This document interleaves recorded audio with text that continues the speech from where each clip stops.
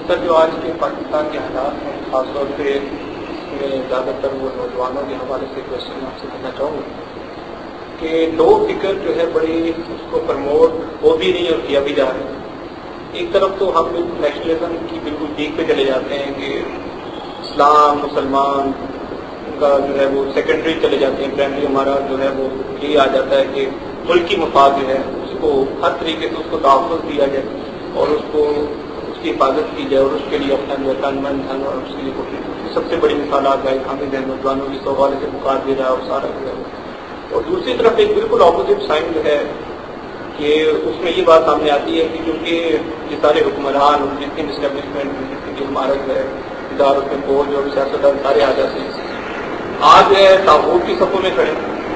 ताबूत के साथ जो है वो वहाँ मिलकर उनके एजेंडे को जो है पूरा कर रहे हैं और वो ताबूत और उस हवाले से ये है कि उनके खिलाफ उसी तरह कताल किया जाए जिस नबी अकरम वसल्लम के दौर में हुआ और जहाँ मिले और जैसे आज के दौर में हो रहा है जिस हवाले से उन्हें मारा जाए और हर तरीके से ताबूत को जो है नुकसान पहुँचाने की कोशिश की जाए और इसमें मुल्की मुखात सबसे पहले आता है वो दोस्त तो ये दोनों चीज़ें जो है नौजवानों के सामने आ रही हैं, दोनों फिक्रें सामने आ रही हैं और आज जैसे वाकत वाकई तौर पर नॉर्मल जो सोचने समझने वाला इंसान उसे गुस्सा तो आता है। तो हम उस गुस्से का इजहार कैसे करें कि हमारा इस्लाम जी हमारे जिस हवाले से आज हमारा उसके वैसे सच्ची बात अगर आप मुझसे पूछें, मेरे दिल की बात तो वो ये है कि ये दोनों सोचें सतही हैं, जज्बात पर मबनी हैं, और रद्द अमल इनकी बुनियाद है। एक होता है ना, आप पॉजिटिवली चीज़ों को एनालाइज करके उसके बाद अपने लिए एक एक्शन करते हैं। एक ये कि एक्शन किसी ने किया, आप उसके रिएक्शन में कुछ एक्शन कर रहे होते हैं। तो ये रिएक्शनरी सारी सूरत अब मैं जरा तो इस उसूली बात के बाद अगली बात आपके सामने रखूँ कि जहाँ तक इस बात का ताल्लुक है कि ताबूत है, बिल्कुल सही बात है। जैसे वर्ल्ड ऑर्डर जो है, सारे उसके मोती हैं और वर्ल्ड ऑर्डर ताबूत पर मबनी है, बाकी उनके एजेंट है, कारून है। ऊपर फिर है, नीचे कारून है, वो उनको उनका हिस्सा दे देता है, वो अपनी दौलत जाकर स्विट्जरलैंड में रख देते हैं और उसका ऑर्डर यहाँ पे चलाते हैं। मुसलमान मुल्कों में। तो इसमें तो कोई शुभ नहीं है। लेकिन आपको रिएक्ट कैसे करना है? ये है अहमतर सवाल। आप उसी तरह करें जैसे हजूर ने किया था। ठीक है, लेकिन हजूर सल्लल्लाहु अलैहि की ज़िंदगी में कोई मक्की दौर भी तो गुजरा है। पहले अपने पैकर खाकी में जान तो पैदा कर लें। पहले अपनी उस रिएक्शन की कैफियत से निकलें, अपने फ्राइज को पहचानें, फिर उस फ़र्ज़ को अदा करने के लिए जो उसके प्री रिक्विजिट्स हैं वो पूरे करें। और वो पूरे करने के बाद आधार आए जितनी आपकी फोर्स है उसके मुताबिक स्ट्रेटेजी बनाए। अगर आपके पास वो सारे वेपन्स आ गए कि जो ताबूत के पास हैं ओके आप दो तरफा के ताल में जाएँ। अगर वो नहीं है तो आज के दौर में आपके सामने है कि पब्लिक प्रेशर से आप जो है वो काम कर सकते हैं। आपके पास वो बुनियादी अखलाकी कुवत होनी चाहिए। आए लीडरशिप मुहैया करें कौम को। और लेके आए, उसके बाद सड़कों पर मिसर में चेंज आ गई और फिर उस चेंज के पूरे प्रोसेस को मॉनिटर करें। ये नहीं कि कोई आपको जनाब वो लॉलीपॉप देख के बहला ले। आपकी लीडरशिप ऐसी बालिग नज़र होनी चाहिए कि फिर जब तक आखिरी गोल अचीव न हो जाए, उस वक्त तक वो तहरीक चलती रहे। ये नहीं कि भुट्टो उतरा जयाउलक आ गया और तहरीक ठप हो गई। वो आगे चलती रहे तो फिर दूसरी सूरत ये। तो उसका सही तरीका तो ये ये नहज है। रह गई ये बात, वो जो एक पेट्रियाट किस्म के जो मुहिब वतन जो लोग हैं इस वक्त ये लोग काफ़ी एक्टिव हैं। और एक तरह से रिएक्शन का शिकार ये भी है कि जो भी इस तरह की एक्टिविटी है, ये रेमंड डेविस है और ये हो गया है और आफिया है और फलाना है और फलाना है। इसके मुकाबले में एक सद्दाम हुसैनी मौकफ इख्तियार के लिए यानी इतना इस्लामिस्ट मामला नहीं है जितना कि एक नेशनलिस्ट मामला है। तो उस, वो तो हमारे सामने एक बड़ी ज़िंदा मिसाल है, सद्दाम हुसैन। बहुत बड़ा नेशनलिस्ट है। वो अमेरिका के आगे उसने गर्दन नहीं झुकाई और फांसी चढ़ गया। दूसरी मिसाल कजाफी भी हो सकती है। लेकिन ये कि इन लोगों का मामला भी इतना जज्बाती है, इतना जज्बाती है। ख्याली घोड़े और इनमें से अक्सर और बेशतर का मामला तो ये लगता है कि हर एक के पहले से ही कुछ एम्बिशन थे। तो ये जो हालात बने, कुछ मिस्र में चेंज आ गई, कुछ इधर उधर आ गई, कुछ यहाँ पे भी बुखार है तो वो उस हवा के उस लहर पर सवार होकर अपने वो जो पुराने ख्वाब थे, अरमान, उनको पूरा करने की उम्मीद लगाए, लगा के वो एक बिल्कुल ऐसा काम करने चले कि बिल फ़र्ज़ इनकी काल पर अगर लोग निकल आते हैं। उम्मीद तो नहीं है, लेकिन अगर निकल आए लोग तो जब लोग निकल आते हैं, निकालना बहुत आसान है। जैसे बोतल में से जिन को निकालने के लिए सिर्फ़ ढक्कन खोलना पड़ेगा। उस जिन को दोबारा बोतल में डालना बड़ा मुश्किल होता है। तो जब लोग निकल आएँगे तो लोग साठ साल से जो उन पर जुल्म हुए हुए हैं तो उनके बदले लेने शुरू करेंगे। एक दफ़ा जब लोगों को पता लगेगा ना, वो कि हमारे पास ये ताकत है। तो ये थानेदार उड़ रहे होंगे, ये पुलिस वाले उड़ रहे होंगे, फिर फौजी उड़ना शुरू होंगे, फिर ये सियासतदानों को पकड़ पकड़ के घसीटेंगे। जो कभी किसी यूनियन काउंसिल का नाजिम रहा होगा, उसको भी पकड़ के आग लगाएँगे, जैसे डाकू को आग लगाना शुरू कर दिया ना लोगों ने। फिर अगला मरला ये भी आएगा कि हाँ इनके बच्चे बीकन हाउस में पढ़ते थे, ये हैं जिन्होंने हमारा खून चूसा है, इनका घर जलाओ, इनको मारो। ये तो एक फसाद अजीम है। उनको फिर रोकेगा कौन? वो जैद अहमद के रोकने से रुक जाएँगे। या किसी रिटायर्ड जनरल के कहने से रुक जाएँगे फिर। जो गुस्सा इस दर्जे को पीक पे पहुंचेगा। तो वो तो फिर हर शय को जो हत्या बाला करेंगे। यहाँ पे वो ऑर्गेनाइजेशन दरकार होती है। जो मैंने कई दफ़ा मिसाल भी दी कि जब मक्का फतेह हो रहा था तो किसी ऐसे ही जोशीले साहबी ने कह दिया योम योमुल मलहमा आज कीमा करेंगे। आज जो है ना, इनका पता चल जाएगा कि इन्होंने हम पर जो जुल्म किया था, उसको बदले का तो नबी अकरम सल्लल्लाहु अलैहि वसल्लम की लीडरशिप थी। आपने उनसे झंडा ले लिया और कहा योम योमुल मरहमा आज रहम करने का दिन है। तो पहले आप ऐसे लोगों की एक जमात तो तैयार कर लें। इसके बगैर अगर आप लोगों को सड़कों पर ले आएँगे, लोग तो आ जाएँगे, गुस्से से भरे बैठे हैं लोग।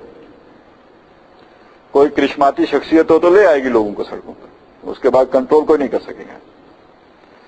तो पहली बात यह कि इसके नतीजे में एक फसाद बर्पा होगा और दूसरा, मेरा गमान यह है कि यह अमेरिका चाहता है कि हो।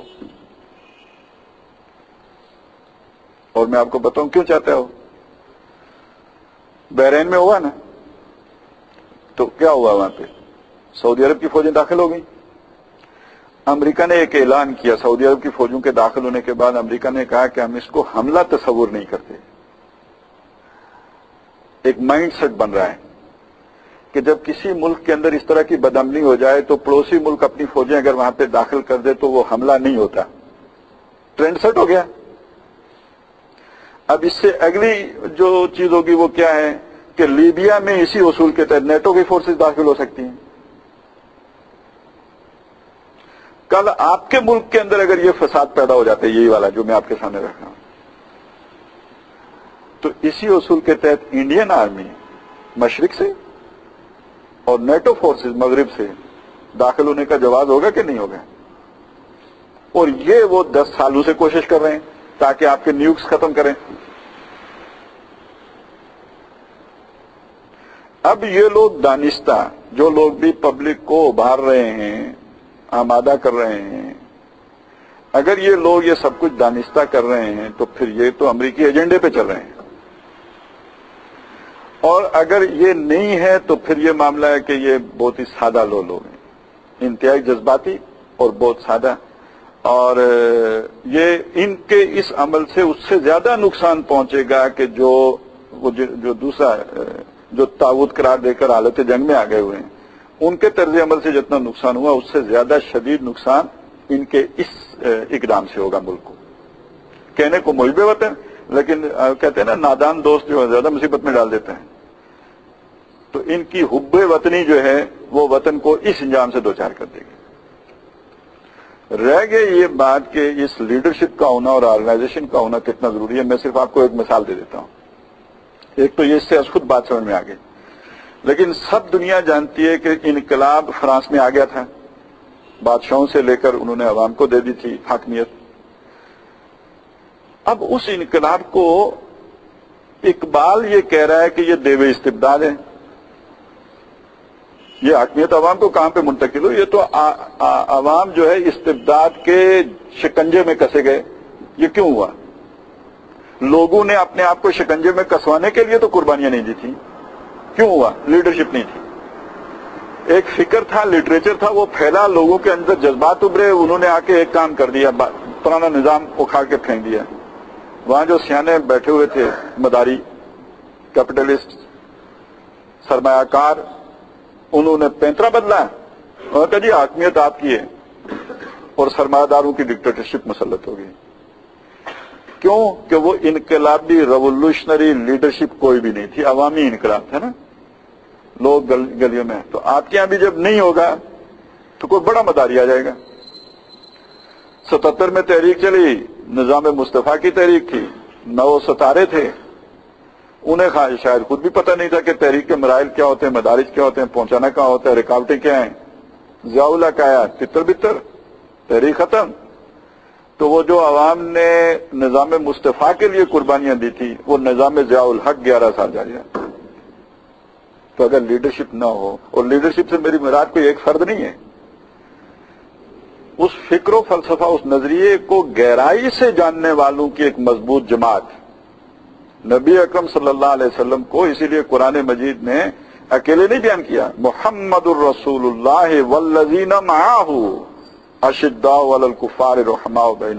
इन सब के अंदर वो नज़रिया इतना गहरा उतर गया है आपस में नरमखू है कुफार के लिए शदीद करें।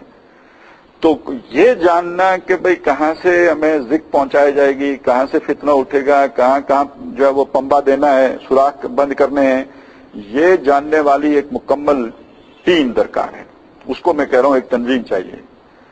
बाशूर लोगों की, उलुल अलबाब की कौम या केलून की, उलुल इल्म लोगों की एक तंजीम हो मज़बूत, जो खुद ऑर्गेनाइज और डिसिप्लिन हो। जब वो लोगों को लेके आएगी, दो काम करेगी, एक फसाद आम नहीं होने देगी, कंट्रोल लोग हैं।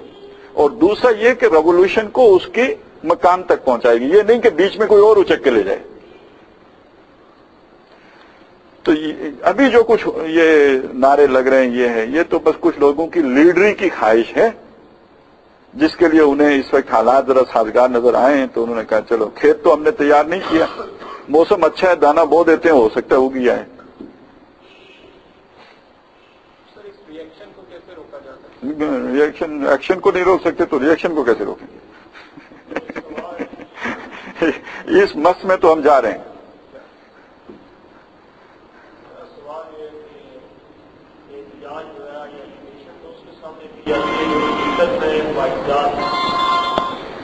गवर्नमेंट के सामने एहतजाज करके कुछ बताए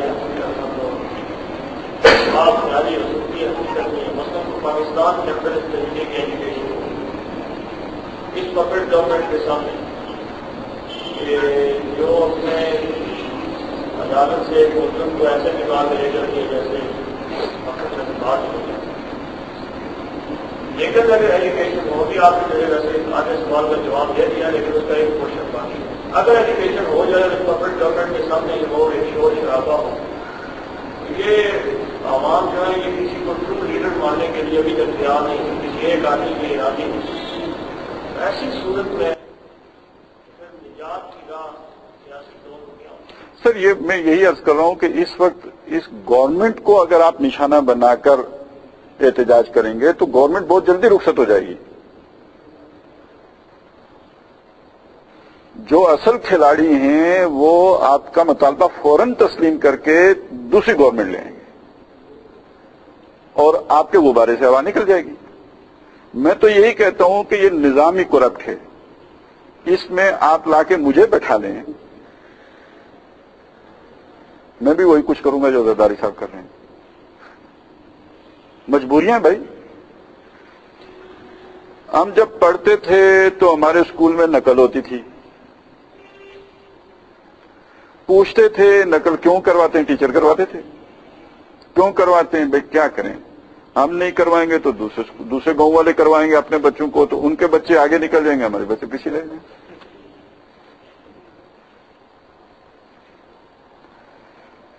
मैं इक्कीस बाईस साल का होगा इंतखाबात कोई हो रहे थे। हमने कहा, यार, वो अच्छा आदमी है, मुखलिस, ठीक, अच्छे किरदार का ताजुद गुजार, इतनी बड़ी दाढ़ी वाला, नेक आदमी, कोई गलत काम नहीं करता। आप भी शरीफ लोग हो। उसकी जगह पे एक शराबी जाने जानते बुझते शराबी आदमी को वोट दे रहे हो। क्या करें? ये ताजुद गुजार को दे देंगे। कल थाने में कोई मुकदमा होगा तो ये जाके थानेदार से बात ही नहीं कर सकता, शरीफ आदमी। और पहली बात तो ये पूछेगा ना कि जी हाँ जी थोड़ा मुकदमा जायज़ भी है कि नाजायज है तो क्या करें हमारा हमारे मामला को बेहतर तौर पर कोई खंबे लाने हैं कोई पाइप लगवाने हैं पानी का मसला है वो तो वो बदमाश से याद कर सकते हैं वो कल है और पी के खूब बोलता है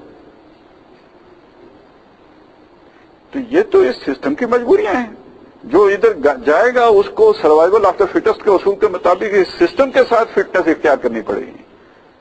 तब चलेगा, नहीं तो सिस्टम उठा के बाहर फेंक देगा उसको। जाओ ताजुद पढ़ो, इधर क्या लेने आयो तो कहने का मतलब यह है कि अगर कोई जज्बात बनते हैं तो कम अज कम वो फोकस होने चाहिए उस निशाने पर कि भाई, हमने कोई किसी से दुश्मनी नहीं है, हम इस मुसीबत से सबको निजात दिलाना चाहते हैं। यहाँ लोग अच्छी नीयतों से भी आते हैं, लेकिन इस सिस्टम के अंदर आके वो क्या कहते हैं, जो कुछ भी नमक की कान में गया, नमक हो जाता है। नमक बन जाता बड़ी अच्छी नेक साले जमातें भी गई हैं और दामे हम रंगे ज़मीन में उलझ के रह गई। तो बात उस सिस्टम के बदलने की जब आप उस सिस्टम को बदलने पे आएँगे तो पपेट नहीं आएँगे फिर आपके सामने। असली आएँगे। और ये भूल जाएँ कि वो आपको कुछ नहीं कहेंगे, वो आपको भूनेंगे गोलियों से, जैसे कजाफी भून रहा है। जो आखिरी वो आते हैं ना, अपना एक दफ़ा तो पूरा ज़ोर लगा था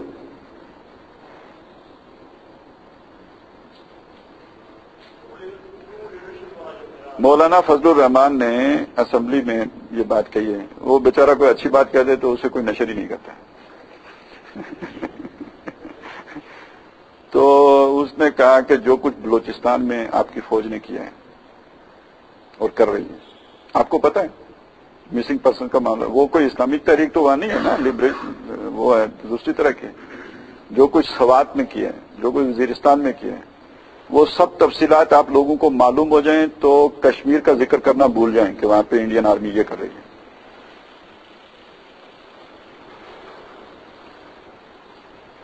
और जो कुछ आदमी सुनता है, रोंगटे खड़े कर देने वाली बात है। ये तो अभी अमेरिका हमारे साथ है। इंडिया भी कहता है, ठीक है, आपस में लड़ रहे हो, अच्छी बात है। तो इन चीज़ों पर पर्दा पड़ा हुआ है। कल जिस दिन हमने आँखें फेरी, रेमंड डेविस वापस न किया, और अमेरिका अमेरिका नाराज़ हो गया, मुझे पता कर दिया है, कोई और भी हो सकता है तो और अमेरिका नाराज़ हो गया। तो वो तो हमारी चार खबरें विकी लीक्स के ज़रिए से छोड़ देना तो हम मुँह दिखाने के काबिल नहीं आएँगे दुनिया को। और हमने खुद वीडियोस बना बना के उनको दिए डॉलर लिए ना उसके बदले में। उन्होंने कोई सेटेलाइट से नहीं बनाई, हमने खुद बना के दिए हैं कि हम देखो अपने भाइयों पर इस तरह जुल्म कर रहे हैं। इनके मासूम बच्चों के चेहरों पर यूँ गोलियाँ कोई बुछाड़ कर रहे हैं, देख लो। हम तुम्हारी जंग कितनी खंदा पेशानी से लड़ रहे हैं। तो ये चार वीडियोस आ जाएँ तो कोई मुकदस रहेगा तकदीर से मशरक के? तो आप अफोर्ड कर सकते हैं कि आपकी ये वीडियोस आए। तो डायमंड देने पड़ेंगे रेमंड या नहीं? बेशक डायमंड हूँ।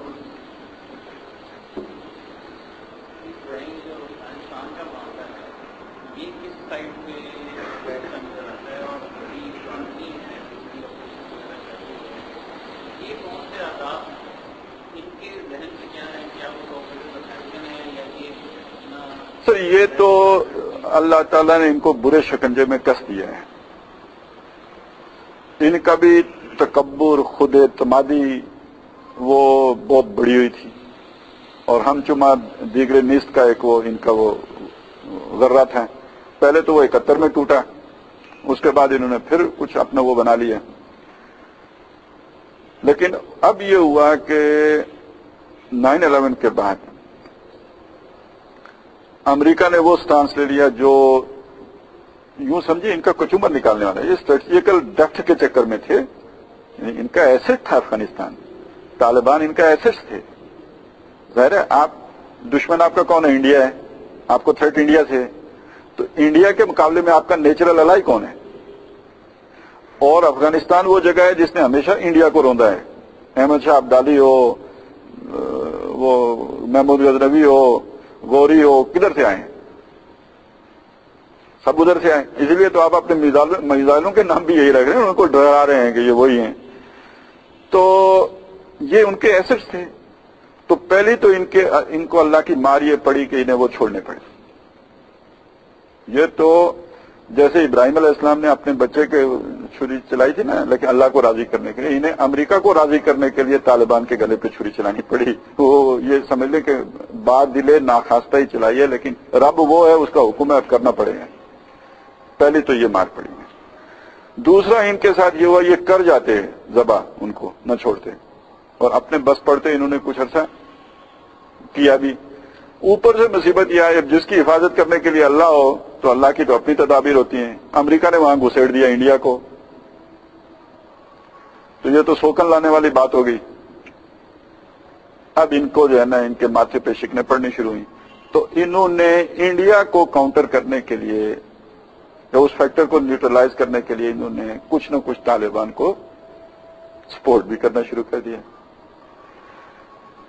तो अब कुछ है कि ये उधर, जो लोग उधर ही जाके कार्रवाइयाँ करते हैं, उनको ये सेफ़ पैसेज देते हैं, या उनके साथ उलझते नहीं है, या कुछ इस तरह का मामला है।